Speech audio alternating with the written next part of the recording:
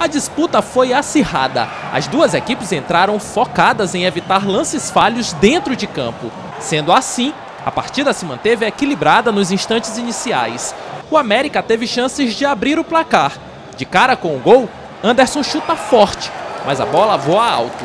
O Tubarão também chega a ameaçar e deixa os torcedores que lotaram o Castelão com o coração literalmente nas mãos.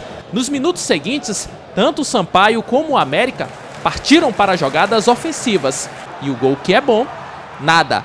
Nas arquibancadas, a aflição aumentava cada vez mais. Sensação que se confirmou nesse lance, no finalzinho do primeiro tempo.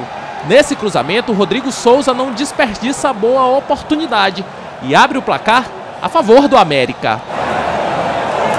A partida recomeça, mas ao invés de voltarem motivados em busca da vitória, o que se vê em campo são jogadores do tricolor maranhense apáticos, como se não estivessem à beira de uma derrota. Nem mesmo a casa cheia, maior demonstração de apoio da torcida, parecia ser suficiente para dar aquela levantada de ânimo.